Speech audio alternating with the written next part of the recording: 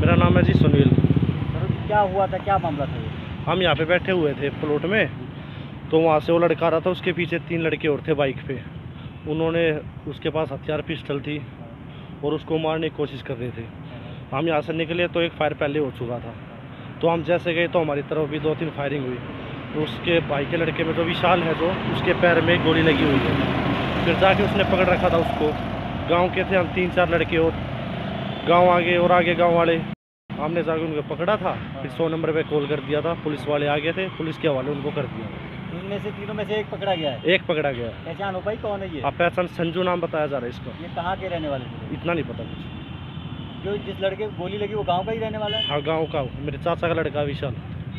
क्या नाम बताया? विशाल सहरावत कितना उम्र होगी? ये इक्कीस साल का है और सॉन्ग वगैरह में ये जो है वो करता है इसकी वीडियो आती है। रीजन पता क्यों इन्होंने हमला किया था उसके नहीं ऐसा कुछ नहीं पता चला लूटपाट के इरादे से या वैसे कोई? हाँ वैसे वो गानों में आता है जैसे गाने निकाले उसके हरियाणवी दो गाने हैं एंडी रात और काली सुहाग रात गानों के उससे भी हो सकता है बाकी हमें पता नहीं है वो तो विशाल बताएगा। तो अभी क्या स्थिति आपकी अभी ठीक है वो हाल फ़िलहाल खतरे से बाहर है। टोटल कितने राउंड गोलियाँ चलाई हैं? तीन से चार फायरिंग हुई है।